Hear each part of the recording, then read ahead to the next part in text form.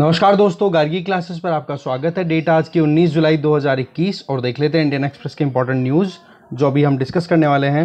First article हम discuss करेंगे, एक इजरायली फेगसिस स्पाईवेयर का अटैक हुआ है, जिसमें हमारे जो यूनियन गवर्नमेंट में मिनिस्टर्स हैं, उनकी फ़ोन टैपिंग हुई है, उनके अकाउंट से इंफॉर्मेशन निकाली गई है, साथ में अपोजिशन पार्टीज़ की जो लीडर्स हैं, उनके भी।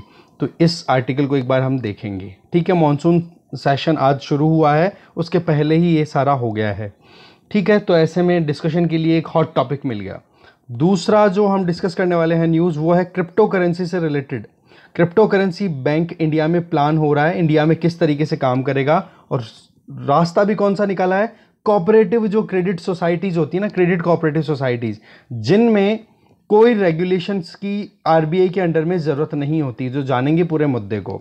ठीक है, इसके अलावा एक्सप्लेन पेज पे हम एक तो देखेंगे कॉन्जुगे ये जो कॉन्जुगल राइट्स होते हैं, शादी के बाद में जो अधिकार होते हैं स्पाउसेस के एक दूसरे के ऊपर, उनके बारे में जानेंगे, सुप्रीम कोर्ट के सामने है ये मुद्दा प्रीवियस वर्डिक्ट क्या है वो भी देखेंगे, और हबल टेलीस्कोप के बारे में भी जानेंगे कि प्रीवियसली अभी रिसेंटली एक प्रॉब्लम रही, एक महीने तक तो उसको सॉर्ट आउट किया गया है और वैसे भी अब सही से काम करना शुरू कर दिया, जानेंगे इसके बारे में।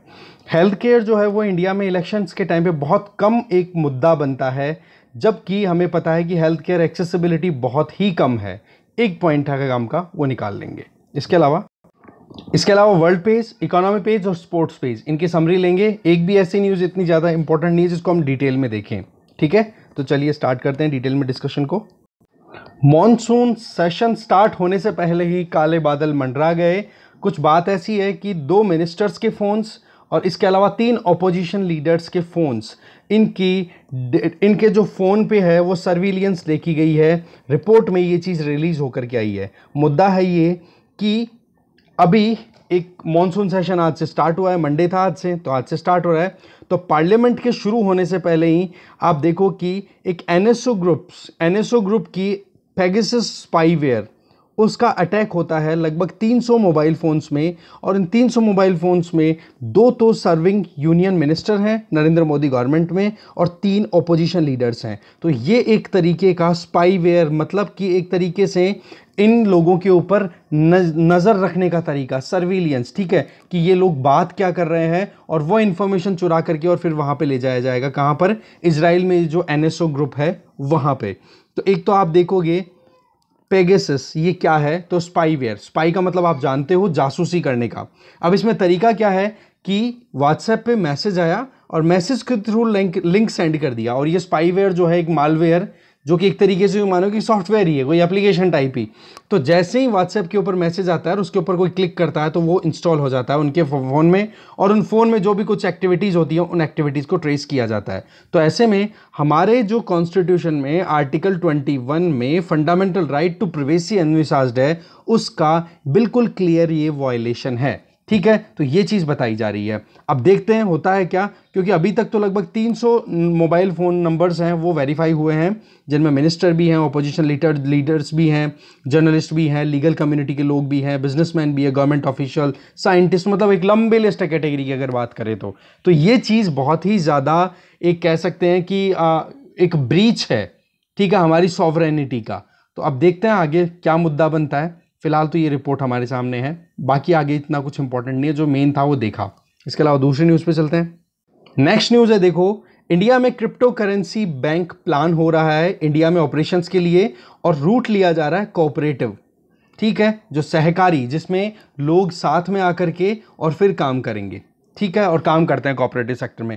ऐसे में क्या होगा कि आरबीआई के रूल्स से थोड़ा सा रिलैक्स मिल जाएगा, क्योंकि कोऑपरेटिव क्रेडिट सोसाइटीज़ हैं, उनके ऊपर आरबीआई की रेगुलेशन ना निकल के वो सोसाइटी के तौर पे रजिस्टर होती है।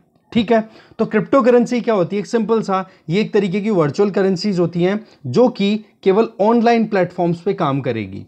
ठीक है? इनके लिए ना तो कोई सेंट्रल रेगुलेटर होता है, ना इनके लिए कुछ और, इनके लिए कोई गवर्नमेंट की बैकिंग होती है। इंडिया की अगर बात करें तो इंडिया में अभी तक इनको लीगल स्टेटस नहीं दिया हुआ है। तो ऐसे में क्रिप्टो करेंसीज की जितने भी आप देख सकते हो, जैसे बिटकॉइन का नाम आता है, कभी कोई से कॉइन का नाम आता है, ये सारे कॉइन्स को अभी तक इन वर्चुअल करेंसीज को हमारे यहाँ पर एक्सेप्टेंस नहीं मिली हुई है। इवन आरबीआई ने तो अपनी नाराज़गी बार बार ज़ाहिर की है कि इस तरीके की क्रिप्टो करेंसीज लेकर के आने की ज़रूरत क्या है? हम खुद हमारी क्रिप्टो करेंसी लॉन्च करेंगे। देखो, सबसे पहले बात तो ये आ जाती है कि इन क्रिप्टो करेंसीज को रेगुलेट करने की बड़ी इंपॉर्टेंट ज़रूरत है अभी।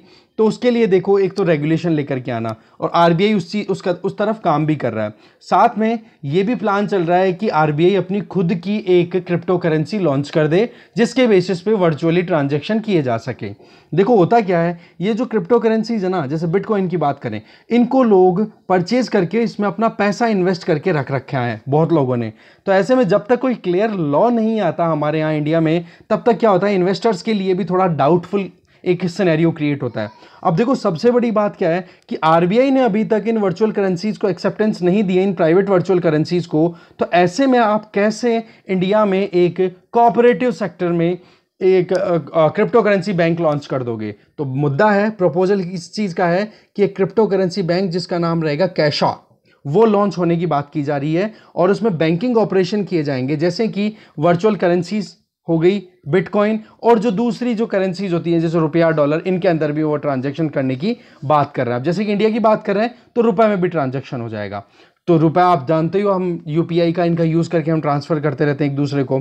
तो इस कॉन्सेप्ट को रिलीज़ करने में काम लिया जा रहा है loophole that is credit cooperative society का रूट इसमें क्या हो जाएगा कि आरबीआई की पकड़ कम रहती है क्रेडिट कोऑपरेटिव सोसाइटी अब क्रेडिट कोऑपरेटिव सोसाइटी क्या होती है? जो मेंबर्स हैं, जिन लोगों के पास में बहुत पैसा है, पाँच लाख, दस लाख, बीस लाख कुछ करोड़ रुपए। पर वो एक अपनी इंस्टीट्यूशन ओपन नहीं कर सकते बैंक ओपन नहीं कर सकते तो वो क्या करेंगे? सारे मिलकर के अपनी एक सोसाइटी बना लेंगे कोऑपरेटिव सोसाइटी अब उसमें क्या हो जाएगा कि वो लोन देने की व्यवस्था करेंगे तो अपने खुद के लोगों इन्हीं मेंबर्स में से किसी ना किसी को लोन की ज़रूरत पड़ेगी कि कभी इसको अपनी फर्म में इन्वेस्ट करना है कभी इसको अपनी इस, इस अपनी फर्म फर्म में इन्वेस्ट करना है तो वो एक साथ कलेक्टिवली पैसा इकट्ठा करके और फिर उस पैसे को एक दूसरे को ब्याज पे देते रहेंगे।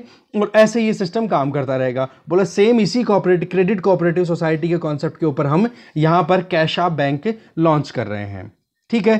कैशा का ये कहना है, ये जो लॉन्च किया जा रहा है, इसमें देखो यूनिकास करके एक इंपॉर्टेंट इंस्टीट्यूशन आ जाता है क्रेडिट कोऑपरेटिव सोसाइटी का। ठीक है?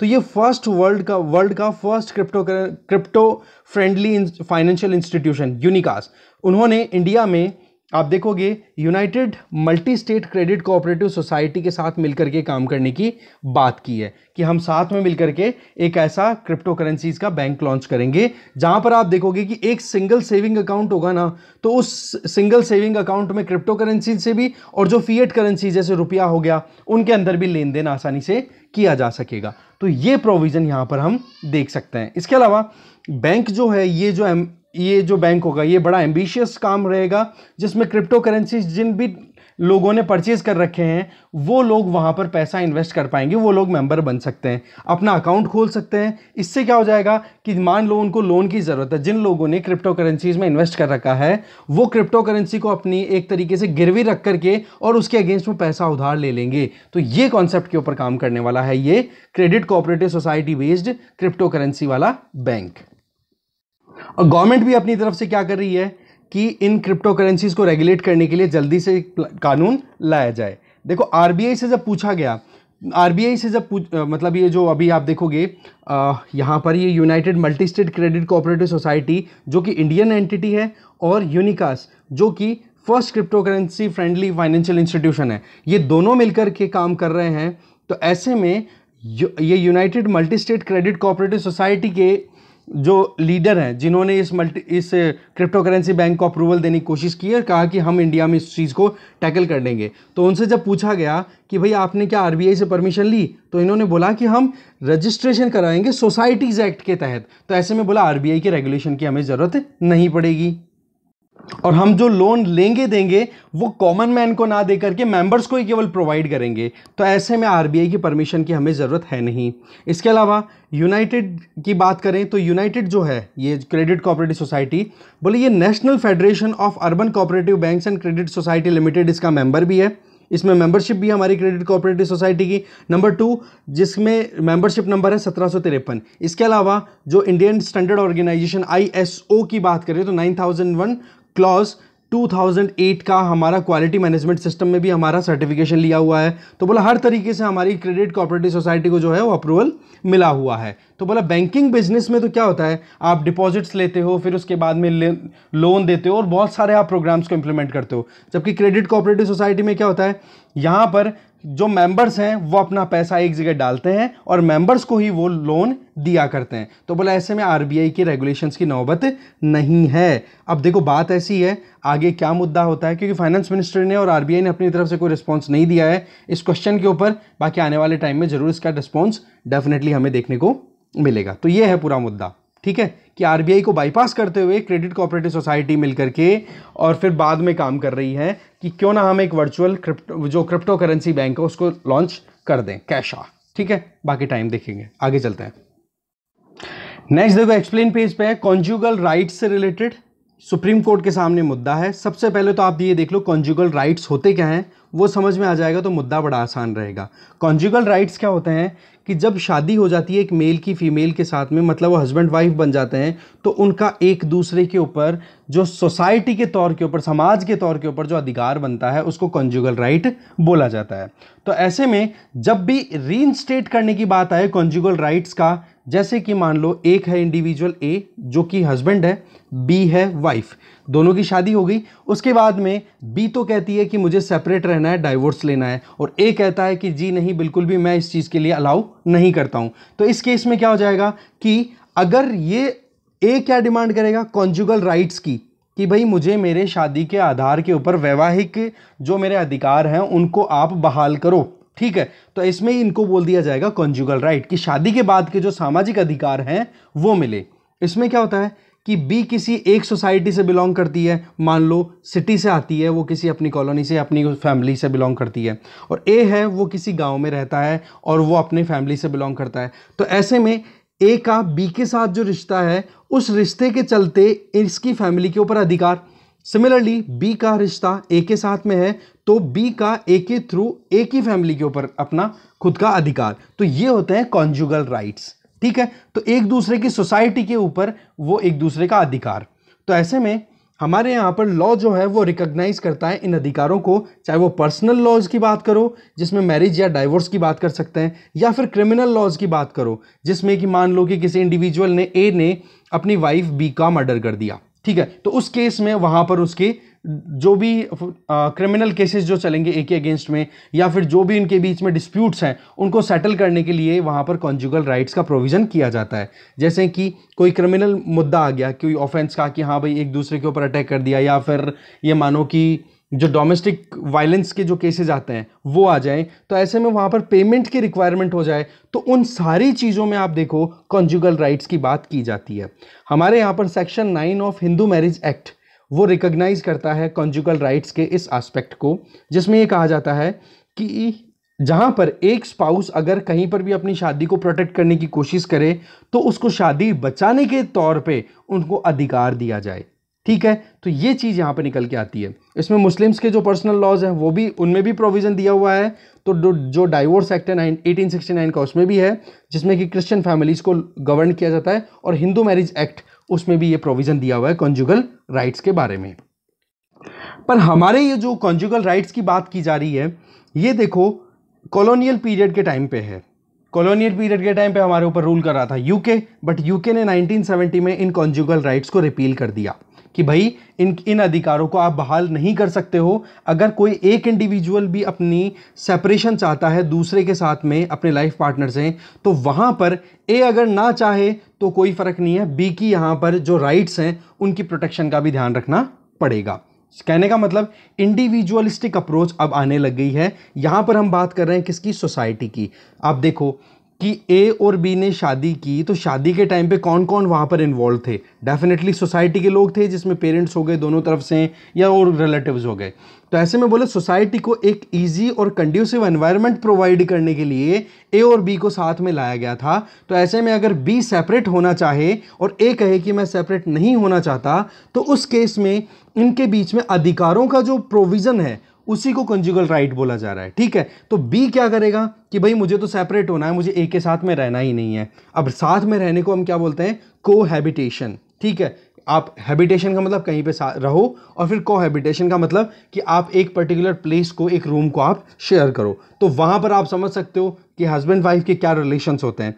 तो उस केस में सबसे बड़ी प्रॉब्लम क्या आ जाती है कि बी अगर सेपरेट होना चाहे ए कहे कि मुझे तो नहीं, मुझे तो अलग नहीं रहना, मुझे तो साथ में रहना है। तो अगर वहाँ पर कोर्ट के पास में मुद्दा पहुँच गया और ए के जो कॉन्जुगल राइट्स हैं, वो अगर दे दिए गए तो उस केस में फिर बी की जो खुद की राइट टू प्रिवेसी है या फिर वो जो राइट टू लाइफ है, जो अपना सेपरेटली डिग्निफाइड मैनर में रहना चाहे तो उसका वायलेशन होता है। तो ऐसे में 1970 में यूनाइटेड किंगडम ने देखो इसको रिपील कर दिया था।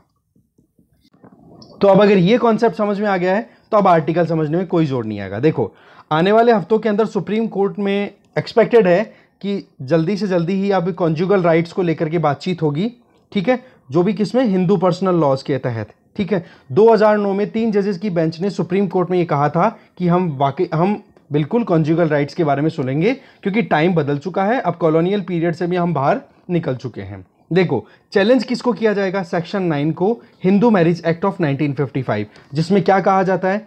कि भाई कोई भी एक इंडिविजुअल यहाँ पर देखो कॉन्जुगल राइट्स के प्रोविज़न क्या है? सेक्शन नाइन क्या बोलता है? कि एक भी दोनों स्पाउसेस में से, पति और पत्नी में से एक भी अगर चाहे कि हमारी शादी बची रहे तो उस एक के अधिकारों को प्रोटेक्ट करना। क्योंकि उनके बीच में शादी है। बी तो चाहती है कि भाई सेपरेट हो जाऊँ या बी चाहता है कि सेपरेट हो जाऊँ। पर ए जो है, वो क्या कह रहा है कि भाई मुझे तो शादी में रहना है। तो उस केस में ए के राइट्स को प्रोटेक्ट करने के लिए सेक्शन नाइन वहाँ पर डाला हुआ है। तो उसको चैलेंज करने की बात की जा रही है। कॉन्जुगल राइट्स क्या होता है ये मैं आपको बता ही चुका हूँ।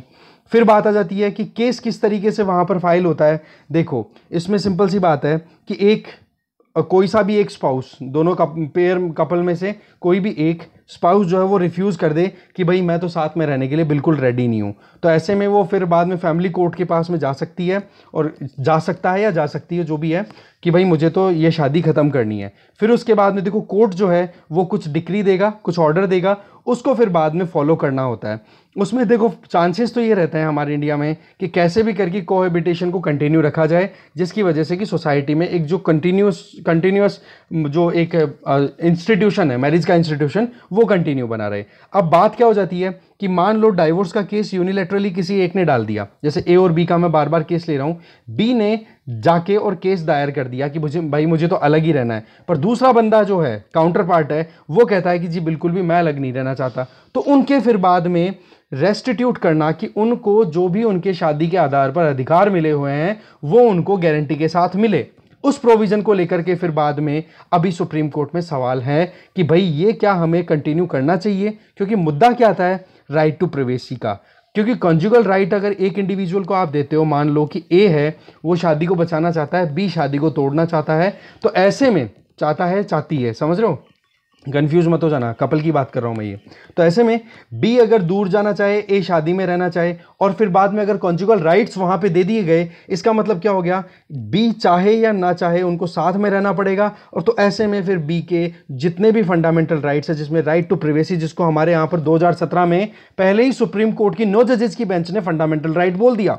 तो वो चीज़ वायलेट होना शुरू हो जाएगी। तो एक तो फंडामेंटल राइट आपने बना दिया राइट टू प्रिवेसी और दूसरी तरफ़ आप कोहेबिटेशन की बात कर रहे हो कि साथ में रहना पड़ेगा, जबकि बी जो है वो साथ में रहना ही नहीं चाहती या चाहता है। तो ऐसी परिस्थिति में क्या आ जाता है? यहाँ पर सवाल आ जाता है कि भाई एक बार चेक करो कि हमें कॉन्जुगल राइट्स के रेस्टिट्यूशन की तरफ़ आगे बढ़ना है या नहीं।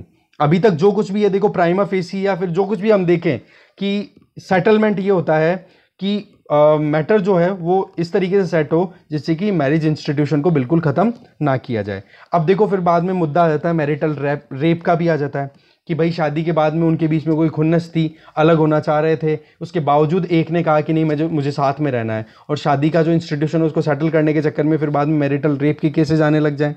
ठीक है? उसमें ज़्यादा प्रॉब्लम हो जाती है। ऐसे में देखो वलनरेबल कौन हो जाती है? वुमेन तो उन चीज़ों को ध्यान में रखते हुए फिर बाद में अब आगे बेंच जो है, वो देखेगी बात को। अब देखो, हमारे पास में इसके पहले बहुत सारे वर्डिक्ट है। सुप्रीम कोर्ट का 1984 का एक वर्डिक्ट है, जिसमें सेक्शन नाइन जो कि हिंदू मैरिज एक्ट के तहत सुप्रीम कोर्ट ने अपहेल्ड किया कि कंजू जो कंजुगल राइट्स हैं, ये बने रहने चाहिए। इससे शादी का इंस्टीट्यूशन लगातार बना रहेगा। केस का नाम है सरोज सरोज रानी वर्सेज सुदर्शन कुमार चंदा। फिर मुद्दा जाता है, इसके बाद में दिल्ली हाई कोर्ट और आंध्र प्रदेश हाई कोर्ट का केस है। 1983 में एक सिंगल जज bench. Andhra Pradesh high court ने यह कहा कि ये जो प्रोविज़न है section nine section nine of Hindu marriage act बोला, इसको ख़त्म करो, क्योंकि इसमें जो काउंटर पार्ट जो फ्री होना चाहता है, जो अपने आप को बिल्कुल सेपरेट करना चाहता है, आप उसके ऊपर अगर सेक्सुअल कोहेबिटेशन को अलाउ करते हो या पुश करते हो तो फिर बाद में वो तो डिग्निटी के अगेंस्ट में गया। तो आंध्र प्रदेश हाई कोर्ट ने इसको स्ट्रक डाउन कर दिया था। फिर दिल्ली हाई कोर्ट में मुद्दा आ जाता है, एक दूसरे केस में आंध्र प्रदेश वाला जो केस था, वो यहाँ पर दे सकते हो। T Sarita versus T Venkata Subbaiah. ठीक है, इनके बीच में केस था और जस्टिस पी चौधरी ने ये बात बोली थी कि राइट टू प्रिवेसी को आप वायलेट नहीं कर सकते हो। तो ऐसे में section nine of this particular act इसको स्ट्रक डाउन कर दिया गया था। फिर बात आती है दिल्ली हाई कोर्ट की सिंगल जज बेंच ने। उन्होंने ये कहा कि भाई हमें कैसे भी करके शादी का जो एक पवित्र रिश्ता है, इसको कंटिन्यू बनाए रखना है और उसमें फिर सेक्शन नाइन को अपहेल्ड कर दिया। उस केस का नाम है हरविंदर कौर वर्सेज हमरेंदर सिंह चौधरी। तो ऐसे में इसमें क्या बात हो गई? सेक्शन नाइन को अपहेल्ड कर दिया। फिर बात जब अल्टीमेटली सुप्रीम कोर्ट में पहुँचती है तो सुप्रीम कोर्ट ने दिल्ली हाई कोर्ट वाली जो बात थी ना, कि बिल्कुल section nine of this particular Hindu marriage act ये बिल्कुल सही है, इसमें कोई खराबी नहीं है। हमें कैसे भी करके शादी का जो इंस्टीट्यूशन है, उसको कंटिन्यू करना है। अब बात ये आ जाती है कि आगे क्या। वो अब देखते हैं, आने वाले हफ़्ते के, एक दो हफ्तों के अंदर जो भी बातचीत होगी, वो देखेंगे। ठीक है? फिर शादी की बात अगर आती है तो शादी का रिलेशन का मतलब क्या होता है, वो सारी चीज़ें बताई हुई है। मुद्दा मेन था, वो हमने समझा। आगे चलते हैं। नेक्स्ट देखो glitch that halted work on Hubble for a month देखो हब्बल जो है वो एक टेलीस्कोप है। यहाँ पे आप देख लो, लिख लो इसको कि हब्बल टेलीस्कोप नासा के द्वारा लॉन्च हुआ था 1990 में और अभी तक सबसे ज़्यादा जो रिसर्च हुई है स्पेस से रिलेटेड वो इसी हबल टेलीस्कोप की रिसर्च के बेसिस पे हुई है। अठारह हज़ार से ज़्यादा यहाँ पर पेपर्स पब्लिश किए जा चुके हैं इस पर्टिकुलर ऑब्जर्वेटरी के बेसिस ये फ्लॉट कर रही है बिल्कुल स्पेस में, ठीक है? और ऑब्जर्वेशन लेती रहती है स्पेस के अलग अलग जितने भी ब्रह्मांड के जितने भी हिस्से हैं अलग अलग गैलेक्सीज हमारा सोनल सोलर सिस्टम इन सब का। तो ऐसे में क्या हो गया था कि पावर कंट्रोल यूनिट होती है इसमें। उसमें क्या प्रॉब्लम आ गई थी? उसको फिर बाद में करेक्ट किया गया और करेक्शन के बाद में फिर बाद में ये सही से काम करना शुरू कर गई। ये कोई पहली बार नहीं है। इसके पहले भी पावर कंट्रोल यूनिट फेल हो चुकी थी। ठीक है तो उसके बाद में फिर वो करेक्शन कर दिया गया और अच्छे से काम हो गया। अब देखो, बात यह है कि इंपॉर्टेंट क्यों है? देखो एस्ट्रोनॉमर एडविन हबल जिन्होंने बिग बैंग थ्योरी का जो कॉन्सेप्ट था, उसमें बहुत इंपॉर्टेंट रोल प्ले किया था। जिन्होंने कॉन्सेप्ट बताया था कि ब्रह्मांड जो है, वो एक सिंगुलर पार्टिकल से एकदम ब्लास्ट होकर के फिर बाद में एक्सपेंड होता जा रहा है लगातार। तो एडविन हब्बल के नाम पे जो एस्ट्रोनॉमर थे, उन्हीं के नाम पर ये ऑब्जर्वेटरी थी, जो कि फ़र्स्ट मेजर ऑपरेशन टेलीस्कोप है, जो कि स्पेस में लगातार काम कर रहा है। और अप्रैल 1990 में इसको लॉन्च किया गया था, और नासा की वेबसाइट के तहत अगर देखें तो हबल के लिए आप देखो, ये मोस्ट सिग्निफिकेंट एडवांस बताया एडवांस बताया गया है एस्ट्रोनॉमी में गैलीलियो के टेलीस्कोप के बाद में। मतलब गैलीलियो के टेलीस्कोप ने जो रेवोल्यूशन किया था ना, उतना ही रेवोल्यूशनरी काम इस हबल टेलीस्कोप ने किया था। लगभग अठारह हज़ार रिसर्च पेपर हो चुके हैं, ठीक है? और एकदम जूम लेकर के बिल्कुल डीप स्पेस के अंदर भी इमेजेस कलेक्ट करने में ये सक्सेसफुल रह चुकी है। यहाँ पर आप देख सकते हो आयोनाइज्ड गैसेस के बारे में भी रिसर्च करना, क्योंकि आप देख सकते हो कि हीलियम हाइड्रोजन ये ऐसी गैसेस हैं, ये ऐसे एलिमेंट्स हैं जिनसे हमारे यूनिवर्स मैक्सिमम जो कॉम्पोजिशन है, वो इन्हीं से हुई हुई है। ठीक है तो स्पेसिफिक डे सब सारी चीज़ें एकदम एक्यूरेटली ये कलेक्ट करके देती है। तो यही चीज़ है। पूछा तो ये जा सकता है कि रिसेंटली हब्बल टेलीस्कोप न्यूज़ में था, या फिर मैच द फॉलोइंग में हब्बल और डैश लगा करके यूएसए लिखा हुआ हो तो आप टिक लगा देना, या फिर नासा लिखा हुआ टिक लगा देना आप। ओके आगे चलते हैं। नेक्स्ट जो आर्टिकल है that is about health care in India rarely an election issue despite limited access बहुत ही कम एक्सेसिबिलिटी अवेलेबल है हेल्थ केयर फैसिलिटीज़ की। उसके बावजूद इलेक्शंस में इतनी ज़्यादा इसके ऊपर बातचीत नहीं होती। अब आप देखो कि जब इलेक्शंस होते हैं तो केवल एक परसेंट ऐसे वोटर्स हैं जो कंसिडर करते हैं कि हेल्थ इशू के ऊपर कौन सी पार्टी बात कर रही है। हेल्थ को ध्यान में रखते हुए कौन पार्टी वोट मांग रही है और हेल्थ इंफ्रास्ट्रक्चर को इंक्रीज करने की बात कर रही है।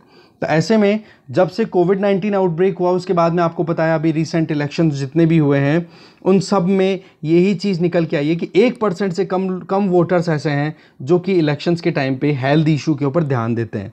बाकी चीज़ें तो देखो सर्वे का वो बताया हुआ है। मेन चीज़ इतना ही है कि जब तक आप पॉलिटिकल इशूज़ के इशू नहीं बनाओगे किसी भी मुद्दे को, जैसे आप देखो वेस्टर्न कंट्रीज़ में कल परसों एक न्यूज़ पढ़ रहा था मैं, जिसमें बताया जा रहा था कि क्लाइमेट अभी तक भी वोट्स के लिए इतना इशू नहीं बना है। इसकी इसके लिए एक एग्ज़ाम्पल आप देखो कि जो बाइडन का इलेक्शन हुआ, आपको पता है। तो जो बाइडन के इलेक्शन में उन्होंने क्लाइमेट के लिए बड़ी इंपॉर्टेंट बातें कही थी। तो उसका असर बहुत पड़ा था उनकी विनिंग रेट्स पे। जबकि डोनाल्ड ट्रंप ने क्या बोला था? बोला, क्लाइमेट जैसी कोई चीज़ है ही नहीं। नेचर है, वो अपने आप से एडजस्ट कर लेगी। हमें तो बस कंटिन्यू करना है। जो कुछ अभी चल रहा है, उसको। तो ऐसे में फिर डोनाल्ड ट्रंप की हार भी होती है। पर अभी भी आप देखो, क्लाइमेट चेंज इतना ज़्यादा मुद्दा नहीं है। और अल्टीमेटली सोल्यूशन क्या निकलेगा? पॉलिटिकल सोल्यूशन ही तो निकलेगा। पहले अगर हमारे जो लॉ मेकर्स हैं वो फाइनलाइज कर देंगे कि हाँ जी, हमें इस मुद्दे को सॉर्ट आउट करना है। जैसे कोविड के लिए काम किए गए तो लॉ मेकर्स ने ही तो काम किया।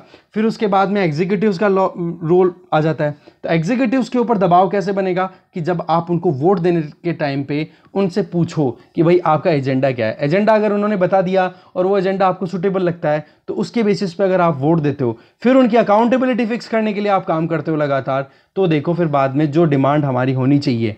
पाँच बेसिक चीज़ें मैं बार बार बोलता हूँ, रोटी, कपड़ा, मकान, स्वास्थ्य, शिक्षा। अगर ये पाँच चीज़ें कोई भी अच्छे तरीके से प्रोवाइड करे, जिसमें रोटी, कपड़ा, मकान तो देखो मोर लेस मिलना शुरू हो गया। पर स्वास्थ्य और शिक्षा अभी भी कहीं ना कहीं हम स्ट्रगल कर रहे हैं। तो दोनों चीज़ों को जब तक पॉलिटिकल मुद्दा नहीं बनाया जाएगा ना, जब तक हम वोट देने से पहले ये सवाल नहीं करेंगे, तब तक फिर कोई सीरियस होने वाला है ही नहीं। तो यहाँ पर जो रिसर्च है, वो लोक नीति सी का है, उसके बारे में डेटा बताया हुआ है। ओके जो मेन थीम थी, वो हमने देख ही लिया ठीक है? शेड्यूल्ड कास्ट के जो लोग हैं शेड्यूल ट्राइब के जो लोग हैं, वो इन हेल्थ इश्यूज़ को लेकर के ज़्यादा रिस्पोंडेंट थे। उन्होंने जवाब दिया रूरल एरिया के अंदर कि कैसे भी करके हम, हमारी ज़िंदगियाँ हैं, वो बोला बिना ट्रीटमेंट के हम बीमारी के साथ में बिताते रहते हैं, इस तरीके के जवाब निकल के आ रहे हैं। तो पॉइंट क्या जाता है कि भाई हेल्थ केयर प्रोटेक्शन तो प्रोवाइड करो आप कम से कम, जिसमें प्राइवेट हेल्थ केयर फैसिलिटीज़ हैं, उसको भी एक्सपेंड कर सकते हो। दूसरा पब्लिक हेल्थ केयर ये चीज़ तो बार बार बोली जाती है। कि हेल्थ और एजुकेशन ये दो तो देखो गवर्नमेंट को अपने हाथ में रखनी चाहिए। नहीं तो प्राइवेट सेक्टर में क्या है? ज़्यादा से ज़्यादा फिर एग्जॉर्बिटेंट प्राइसेस अप्लाई की जाती हैं। बहुत ज़्यादा शोषण किया जाता है। जो भी मरीज़ होता है या फिर जो भी स्टूडेंट्स होते हैं, गरीब फैमिली से बिलोंग करने वाले। ठीक है? तो ये है पूरा मुद्दा। आगे चलते हैं। वर्ल्ड पे इसमें न्यूज़ है, देखो। देवबा जीत गए कॉन्फिडेंस मोशन और ऐसे में नेपाल में अब सरकार बन गई है कांग्रेस की। और इंडिया के लिए थोड़ा सा फेवरेबल है। क्योंकि इंडिया की तरफ़ के पी एस ओली का क्या सीन था? वो तो देखो चाइना प्रो चाइनीज़ थे। ठीक है? कल मैं एक आर्टिकल पढ़ रहा था हिंदी में, जनसत्ता में आया था, जिसमें बता रहे थे कि मतलब उन्होंने अपनी पूरी ट्रेडिशंस छोड़ दी थी चाइना की कम्युनिस्ट पार्टी को राज़ी रखने के लिए। ठीक है? यहाँ तक कि जो कम्युनिस्ट पार्टी के उनके साथ के जो कलीग्स थे, वो लोग भी के पी एस ओली को बिल्कुल डिस्कार्ड करना शुरू कर चुके थे कि ये क्या कर रहे हो? आप, हमारी खुद की जो कल्चर है, जैसे राम मंदिर का जो मुद्दा है था ध्यान होगा कि बोला, राम जन्मभूमि नेपाल में है, ना कि यूपी में। यहाँ तक उन्होंने स्टेटमेंट दे दिए थे। चाइना की कम्युनिस्ट पार्टी को राज़ी करने के लिए के पी एस ओली ने एक नया ही मैप ड्रॉ कर दिया था, जिसमें जो लिपू लेक, लिम्पियादुरा लिम्पियादुरा और काला पानी वाला रीजन ट्राइंगल जो डिस्प्यूट था टेरिटोरियल डिस्प्यूट तो उसको लेकर के भी इंडिया से दो दो हाथ कर लिए। लगभग इंडिया और नेपाल मिलकर 1800 किलोमीटर की बॉर्डर शेयर करते हैं। तो वहाँ पर अगर डिस्प्यूट रहेगा और दूसरी तरफ़ चाइना की प्रेजेंस वहाँ पर है तो ऐसे में तो इतना आसान नहीं रहेगा देवबा के लिए कि हाँ जी, ये जो शेर बहादुर देवबा बड़ा आसानी से वहाँ पर काम कर पाएँगे। चैलेंजेस हैं, पर इंडिया के लिए बड़ी रिलीफ है ये मान के आप चलो।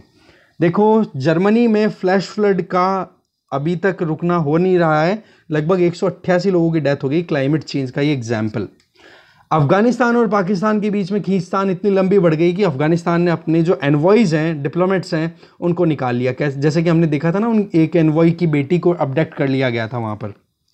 सेम चीज़ आप यहाँ पर देख सकते हो कि वेनेजुएला में भी वायलेंस लगातार बढ़ती चली जा रही है। काराकास वहाँ की कैपिटल है। ठीक है?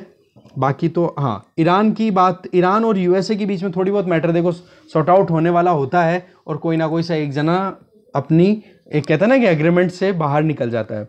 इनमें क्या था कि एक तो प्रिजनर्स का स्वैप ईरान ने जिन लोगों को जेल में रख रखा है, रख रखा है, यूएसए के जो लोग हैं, और जो यूएसए ने ईरान के लोगों को रख रखा है, उनके बीच में ये था कि भाई आप हमारे जेल में रखे हुए प्रिजनर आप हमारे कैदियों को छोड़ो और हम आपके कैदियों को छोड़ते हैं ऐसा एग्रीमेंट हुआ था।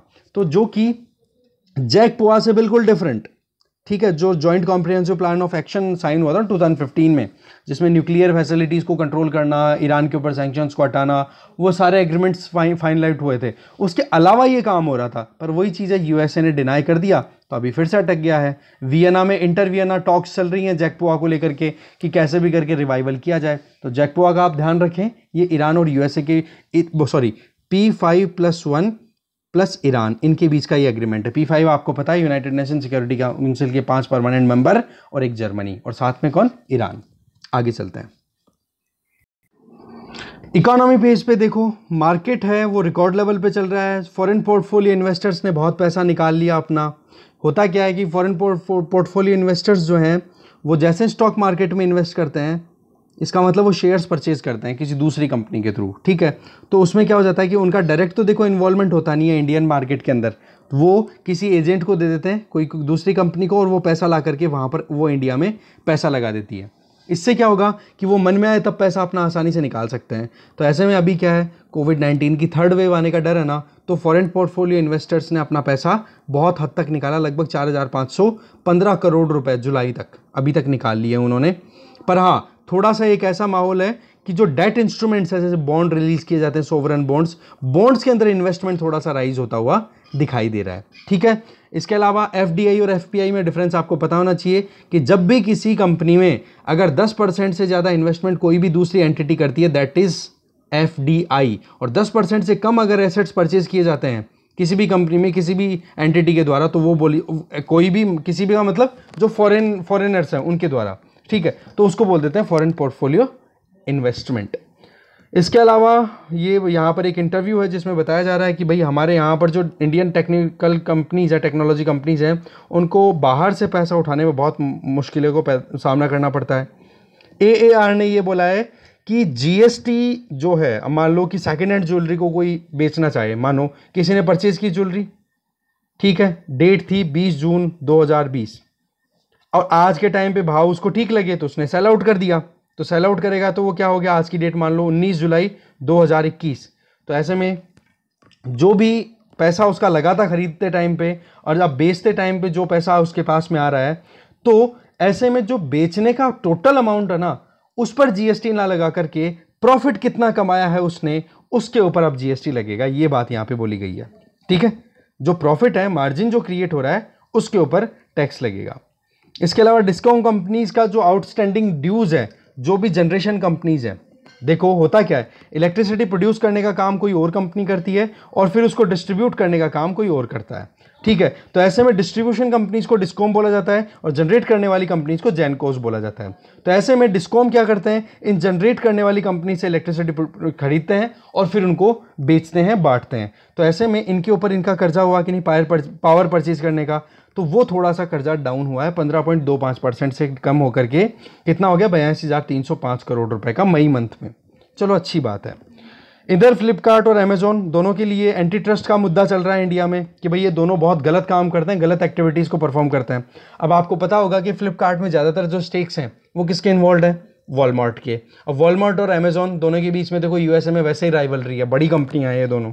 ठीक है तो फ्लिपकार्ट ने तो ये बोला है कि अमेजोन जो एक्टिविटीज़ परफॉर्म करती है ना, बोला वो गलत एक्टिविटीज़ हम बिल्कुल परफॉर्म नहीं करते तो हमें सही सोच समझ करके आप ट्रीट करो। अच्छा एक चीज़ मैं यहाँ पे बताना भूल गया डिस्कॉम्स का और ये जो डेटा है वो कहाँ से कलेक्ट हुआ? प्राप्ति करके एक पोर्टल है जिसका नाम है payment ratification and analysis and power procurement for bringing transparency in invoicing of generator Praapti का पूरा फुल फॉर्म ये हो गया, जिसको मैं थोड़ा सा जूम कर लेता हूँ, आप लिख लो। रिसेंटली प्राप्ति पोर्टल न्यूज़ में था, ये क्या है? तो ये पावर सेक्टर से रिलेटेड है, ये ध्यान रखोगे आप, ठीक है? इसके अलावा तो न्यूज़ छोटी सी है कि ओपीईसी प्लस कंट्रीज़ ने देखो एग्रीमेंट ले लिया है कि हाँ हम बिल्कुल सप्लाई को थोड़ा बूस्ट करेंगे, क्योंकि डिमांड साइड से लगातार प्रेशर बनता चला जा रहा है, ठीक है? और इधर डिमांड जो है ऑयल की क्रूड ऑयल की, वो लगातार बढ़ रही है, क्योंकि कोविड केसेस जैसे डाउन हो रहे हैं ना तो ऑटोमेटिकली डिमांड तो होती है ना फ्यूल की, वो थोड़ी बढ़ रही है। ये चीज़ें बताई जा रही है। ओ प्लस कंट्रीज़ के बारे में आप एक बार ज़रूर पढ़ोगे। Sport one second sorry sports page की अगर बात करें तो कल इंडिया का जो सेकंड ग्रुप गया हुआ है, एक तो देखो इंग्लैंड और दूसरा अभी गए हुए हैं किधर? श्रीलंका में। तो फ़र्स्ट ओडीआई में नई टीम ने बिल्कुल जीता है। मैच अच्छे तरीके से परफॉर्म किया इन्होंने। ईशान किशन, ठीक है क्रिकेटर इन्होंने डेब्यू मैच में ही 59 रन स्कोर स्कोर किए हैं अच्छा खासा। इस तरीके से जो कोविड इनफिल्ट्रेट हो चुका है विलेज में दैट मीन्स जो अभी ओलंपिक्स गेम ऑर्गेनाइज हो रहे हैं वहाँ पे टोक्यो में। तो वहाँ पर ये इशू चल रहा है उसको लेकर के positive case related to Olympic games कि किन किन को केस इन्फेक्शन हो चुका है, वो सारी चीज़ें बताया जा रहा है। ठीक है? इसके अलावा आप देख सकते हो कि इंटरनेशनल बैटिंग रैकेट्स बहुत सारे एक्सपोज हो रहे हैं अब धीरे धीरे जो बोलियाँ लगाई जाती हैं ना बाहर बैठ करके। इमरान खान की मूवी देखना, आप मुझे धाम, एक सेकंड रुको आप, कौन सी थी? हम्म इमरान हाशमी की वो मूवी है जन्नत। उसमें बैटिंग अच्छे से दिखाते हैं। कि किस तरीके से वो पैसे लगाता है क्रिकेट मैचेस में? और एग्ज़ाम्पल भी कौन सा था? इंग्लैंड के अंदर वो नेटवेस्ट ट्रॉफी थी। उसकी अगर हाईलाइट आपने कभी देखी हो, जिसमें युवराज, मोहम्मद कैफ, इन्होंने बहुत अच्छा परफॉर्म किया था। स्टार बन के निकले थे उस टाइम पे। जब 325 समथिंग का स्कोर चेज करना था और पाँच विकेट हो गए थे शायद सौ के आसपास में फिर इन्होंने मिल करके अच्छा परफॉर्म किया, फिर इंडिया जीता था वो मैच तो उस मैच से वो शुरू होती है मूवी जन्नत मूवी है मूवी बहुत अच्छी है, देखना आप एक बार।